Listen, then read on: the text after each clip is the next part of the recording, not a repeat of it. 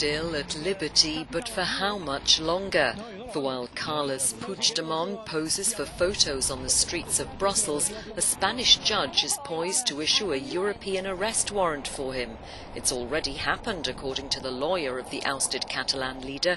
As he faces a legal battle, his deputy and several cabinet members have already been placed in pre-trial custody in Madrid. In an address broadcast by Catalan television, Puigdemont demanded the release of what he called the legitimate government of Catalonia and the end of political repression.